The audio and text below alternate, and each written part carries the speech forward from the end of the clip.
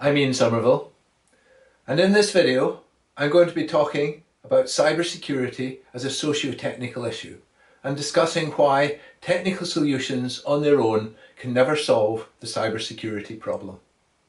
Some people, especially engineers, think that we can solve the security problem by better technology. And there's an area of computer science and software engineering, computer security and security engineering, which addresses these issues of technical improvements to the security of our systems.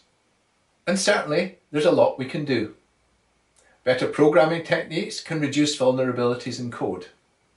We can add more checks to code, again reducing vulnerabilities and so the number of incidents that occur.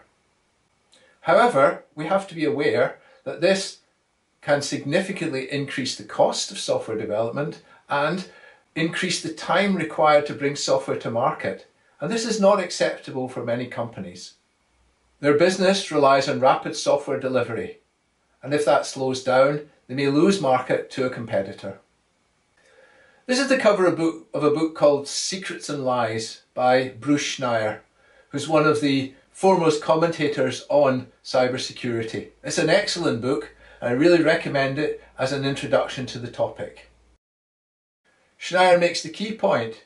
If you think technology can solve your problems, then you don't understand the problems and you don't understand the technology.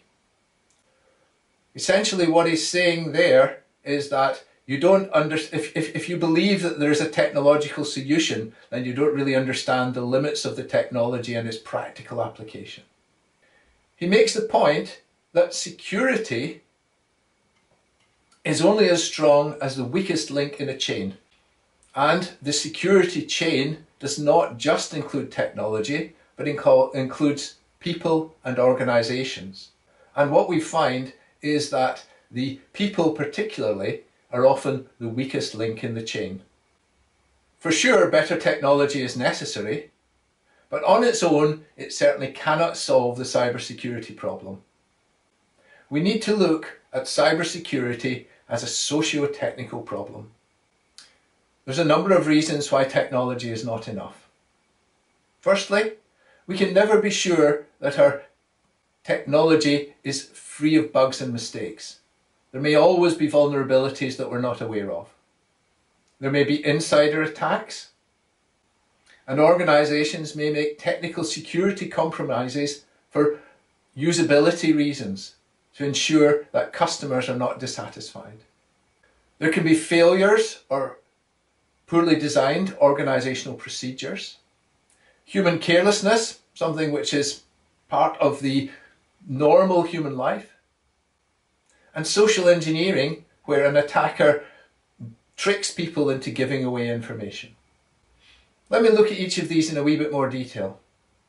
We can't ever guarantee that a system is free of bugs. If there's complexity in a system, it, we know that irrespective of how much testing we do, irrespective of how much validation and verification technology we use, we can never be sure that we've got every last bug out of the system.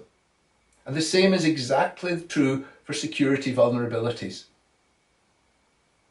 We may do as much as we possibly can but the reality is we cannot guarantee security.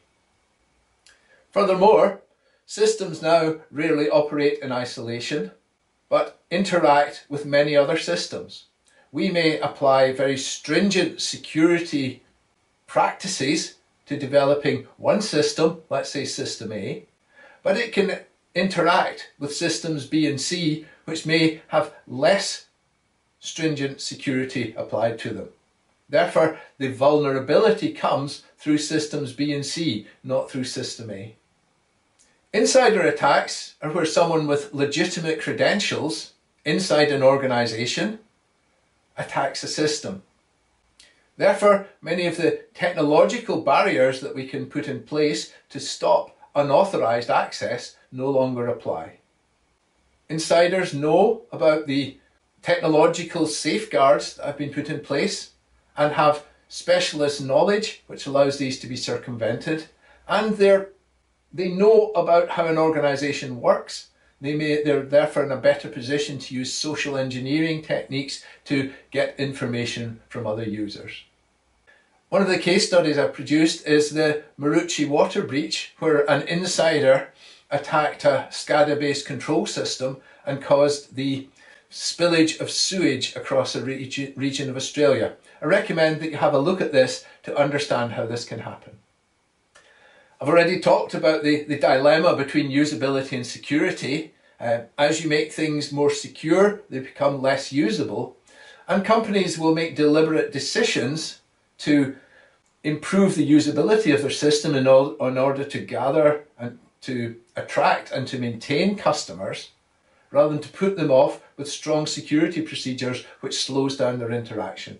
They know perfectly well that this is less secure, but they're willing to accept the costs because they believe that it's, these, it's cost effective to get more users rather than to have more stringent security procedures. So, for example, uh, a company may make a deliberate decision to use the relatively weak login password authentication system rather than, say, biometrics based on a, a fingerprint or an iris print because these biometrics need specialist equipment and people don't like to have this kind of equipment around their house. Organisations have got security procedures, but sometimes these security procedures are inadequate or poorly designed. These may themselves introduce vulnerabilities into the system, especially when users have to find ways around these procedures in order to do what they want to do with the computer system. Here's a couple of examples of poor password procedures. The requirement for a strong password, the notion that a password isn't a, a simple word that's easy to guess, Many companies now have such a requirement and they give examples which are random strings of characters. These are impossible to remember. And if people follow these examples, they have to write their passwords down. In my video on improving cybersecurity, I talk about a, an easier to remember way of producing strong passwords. Another particularly infuriating requirement in a security procedure which we're all familiar with is where Systems demand that you change passwords regularly. You very quickly run out of rememberable passwords, and again, you have to write them down. This is a security procedure that's thought to be effective, but it has quite the opposite effect. Carelessness is part of the human condition. We do things, we get distracted, we think about other things, and we make mistakes. It's not something we can ever eliminate. So carelessness from a security perspective might involve people leaving their computer logged on so that an unauthorized person can get access to the system. It might mean using authentication in a public place where they can be observed. It might mean losing keys. Lots of examples of carelessness. There are some technological safeguards here for example, automatically logging people out if there's been a period of inaction. But many of these, these safe, safeguards are quite expensive and sometimes infuriating. In reality, we cannot technically compensate for human carelessness. Social engineering, as I've said, is where an attacker tricks an authorized user into giving away information. And there have been various studies which have shown that many people are remarkably unsuspicious when approached and asked for such confidential information. Part of this is due to the attitudes to authority which exist in organisations. Let's say an attacker, Alec, pretends to be a, a, senior manager in a company and he calls the system administrator Bob and asks for his password to be reset. The company has a password reset procedure, but the manager claims that he hasn't time for this, he's forgotten to do it, and could Bob please simply reset his password? Bob's then put in a difficult position. Does he say no, follow the procedure, thus defying his superior manager? Or does he agree to do it? In many cases, he would agree to do so. He resets the password, and Alec asks Bob to tell him the new password. Again, there may be a, a procedure to stop this happening, but Alec insists and Bob complies. Alec gets the new password, can lock out the legitimate manager and has access to the system.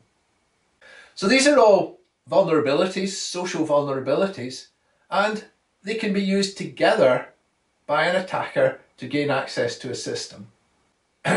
social engineering might be required to convince an administrator to reset a password. But if there's a poor password change procedure where this is not validated with the by sending a text or an email to the actual user, then this gets round that and the attacker gets access. If you're going to have password change, you also need to have password validation, and that's usually best by using a different channel, such as a text message. In summary then, Cybersecurity is a socio-technical problem. We need to think of the whole socio-technical chain if we want to improve the security of our systems. Technology can't guarantee cybersecurity because we can't guarantee that it's reliable. There's always the possibility of insider attacks. We may deliberately weaken security to improve usability. We may have poorly designed organisational procedures or procedures which don't work in practice.